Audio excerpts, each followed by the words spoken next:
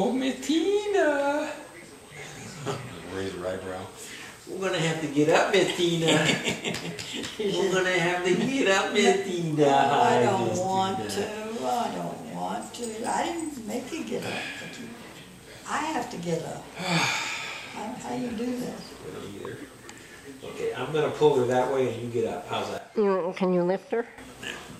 No, I- Wait a minute. There. Okay, Tina. Squeezed. There. It's not easy, is it? No. Oh, God. I'm getting a picture.